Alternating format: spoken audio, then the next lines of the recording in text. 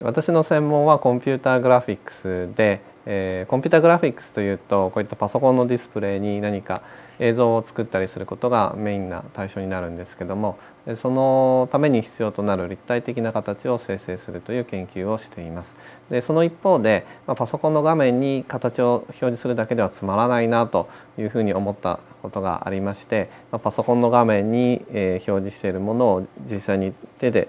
触って触れることができるようなものにしようということで紙工作の研究をしたりでさらにその後折り紙の研究をしたりしています。パソコンの画面の中で形を自由に扱うことができるっていうのは実際にこう現実世界で手に取って確認することができる形っていうのは大きなギャップがあるわけですね。で私はまあパソコンの中で設計したものをパソコンの画面でこう見てるだけではなくて何か実際に取り出して手で触れるような形にしてみたいなと思ったのが一つその紙で形を作ってみるということのきっかけです。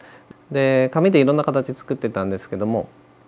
さらにもう一歩進んでっていうふうに考えてくると、まあ、切らないで貼り合わせもしないで折るだけで作れる形難しい制約を満たすような形を、えー、作ってみようというふうに思って、まあ、今の折り紙の研究に、えー、至るということになります。折り紙のルールというのは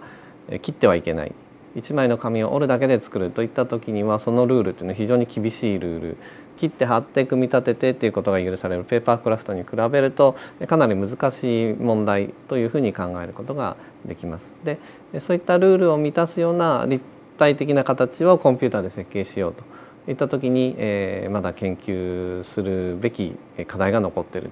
というふうに思います。まあ、コンピューターの中に3次元の形があります。で3次元の形っていうのは3次元上の、まあ、XYZ の座標を持つ点の集まりでその点と点を結ぶ直線でその直線に囲まれてできる三角形、まあ、もしくは四角形の集まりによって形を表現します。でそれを紙工作にしたいということですから、えー、3次元の座標で表現された、えー、それぞれの三角形とか四角形の集合を2次元にこうマッピングしてあげるっていうことが必要になるわけですね。で元の形を維持したままこう平面上に持っていくというふうな処理が必要になるんですけども、まあ、その時に例えば元の形がこう滑らかな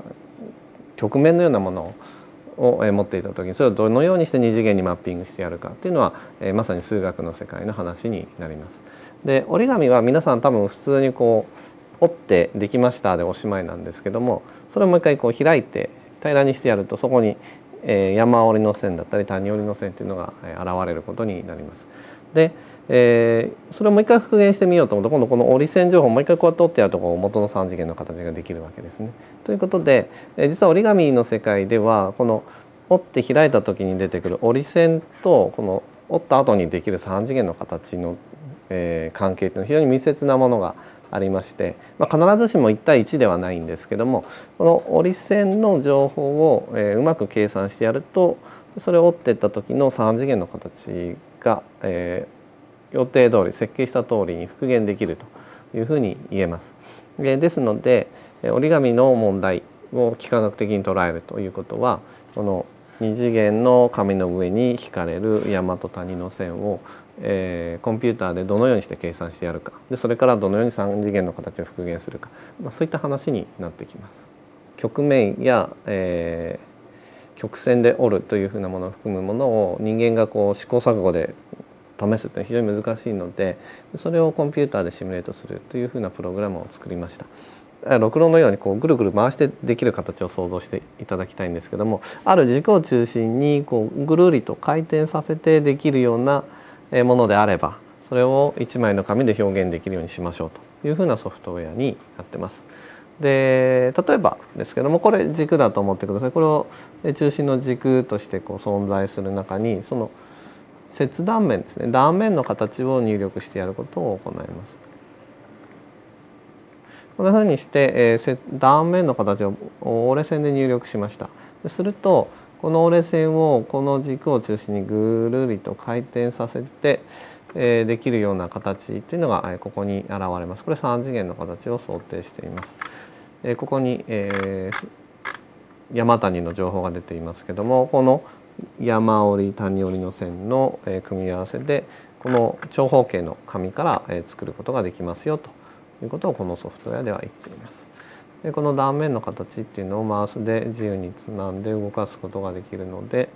えー、このような形が1枚の紙でできるんだなということを確認することが、えー、できます。でこの形を本当に1枚の紙でできるのかなっていうのはアニメーションで確認することもできて、えー、このように徐々に、円筒に近づけていって、まあ、このような円筒であれば1枚の紙でできるということは分かってるわけですからここに、え折りを加えていくことで、え先ほどの形が確かに1枚の紙でできるんだなと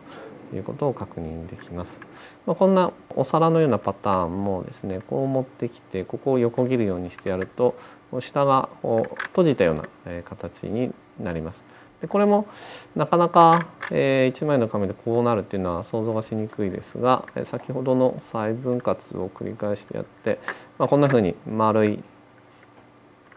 曲面を持った形ができたとします。でこれもですね、えー、こうやって持っていくと、えー、確かに、えー、これは正八角形ですね1枚の紙をこう丸めていって下から見るとこうなりますけどもこうやって閉じることができるということでこれも1枚の紙で作れる形になります。ここの3次元の形に存在する線が全て、えー、2次元上の山折り谷折りの線の情報となってるんですけどもこうギュッと鋭角に折らなければならない線だけの情報にします。でこれを、えー、こちらのカッティングプロッターと呼ばれる、えー、機械に渡せる形のデータに変換します。えー、そのカッティングプロッターのカッターの刃の動きを制御して折り筋をつけるとえー、ここに表示されているような折り紙っていうのはすぐやってできましたっていう人はほぼいなくて1割もいないんじゃないかぐらいの感じですね。で何が難しいかというと今まで皆さん曲がった線を折った経験が一度もないっていう方がほとんどです。で曲がった線えどうやって折るの？でギュッと折るとこれまっすぐな線になっちゃうんですね。曲がった線っていうのは空中でたわませながら折らないと曲がった線にならないっていうのが一つそれから一番難しいのはここまでは皆さん作れるんですけどこの後ギュッとひねってパチッと閉じるっていう操作が必要なんですがこの時に8枚のひだを同じ中心方向に向かって同じ速度で同じ力でやらないといけないのでそれができないっていうことで、まあ、なかなかほとんどの人はできないっていうふうな状況になりますね。物をコンパクトにする時にやっぱ必ず折りたたまなければならないしコンパクトにしたものをまた膨らますっていった時にもそれがどういうふうに3次元的に動くかっていうのは、えー、幾何学的にも重要な問題になってきますので何か具体的な例を挙げるとすると、えっと、人工衛星の太陽電池パネルの折りたたみに使われていたりあと車のエアバッグですねぶつかった時にボンと膨らむような風船をどうやってちっちゃく、えー、折りたたんでおくか。というふうな話であったりあとは持ち運びが可能なテント構造物ですねテントや椅子そういったものをギュッと小さく折りたたむということですね。で皆さんはそういう畳む時っていうとやっぱりこうもうすでに知っているものしかイメージできないと思うんですけどもこういうソフトウェアがあることによって今までにない新しい折り方の発見であったり何か新しい製品の設計に役立つんではないかなというふうに考えています。折り紙の技術というのは工学、まあ、あの産業の分野でも非常に役立つものであるとは思うんですけども私が折り紙の研究を始めたきっかけというのは何か役に立つものを作りたいというよりは純粋に自分の興味の対象として一枚の紙で形を設計してそれがこう折っていくとそこに現れるっていうのは非常に面白いことだと思ったっていうのが一つのきっかけでやっぱり好きなものがえ研究の対象になると。それでも構わない、まあ、それでもあまり怒られないというか、まあ、そういうことができるっていうのが大学の一つの魅力だと思います。研究をする上で必ず、えー、なくてはならないものは新規性です。新しいことをしなければ研究としての価値はないというふうに、えー、言われてますし私もそのように考えてます。ですから、まあ、過去にですね誰かが考えた方法で折り紙を作るというのではそれは新規性がありませんのでやっぱりコンピューターを使うそのプログラムを作ることによって、えー、今までなかなか人間の手で作れなかった形っていうのが、幾何学的な整合性を持ってパッと設計できてでそれを実際に作って再現できるようになるっていうのは新しい技術の発展に貢献できるものだというふうに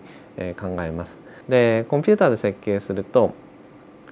まあ、理論的にできるだろうっていうのは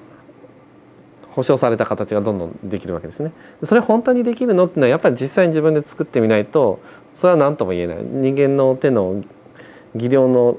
制約みたいなのもあったりしてですねでそのギリギリのところであやっぱり、えー、設計した通りできたっていうのはやっぱり楽しいことですね。そういう意味でパソコンの中で閉じたものだけではなくて実際にこう自分でこう手を動かして何かやってみるっていうのは今後もずっと続けていきたいしそこが一番面白いことだと思います。